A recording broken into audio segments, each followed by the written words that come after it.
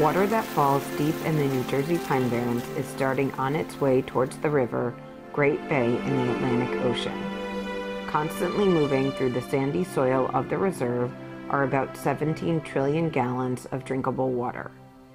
This reserve is on the most pristine area of the eastern edge of the United States. It's big, about 115,000 acres, a patchwork of public and private lands. How people use the land here affects the quality of water and, in turn, the life within its habitats.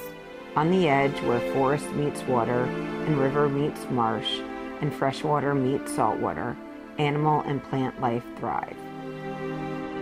There are four habitats in the reserve forest, marsh, bay, and ocean. The marshes act as a nursery.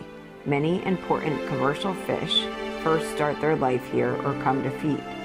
Other animals also come to breed, lay eggs, and start new life. The edge where river and bay meet and the tides mix salt and fresh water is called an estuary. It's a place of transition. The water flows in and out, as do its animal inhabitants. Why is this such a fertile place? Animals and plants prefer the edge.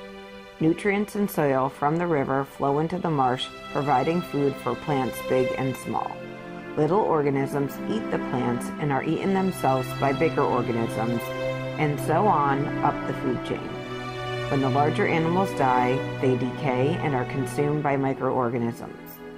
Multiply this action over and over and it becomes an enormous food web. Barrier islands act as a buffer between the ocean and the mainland.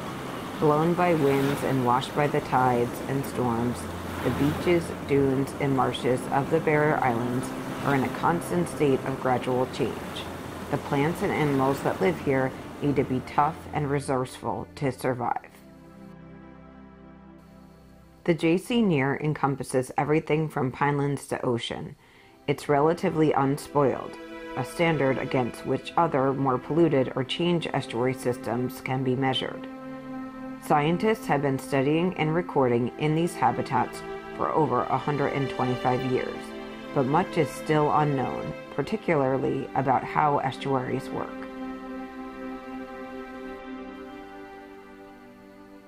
The more we learn about this place, the more we realize how important it is and how it is itself on the edge of being substantially changed by human activity.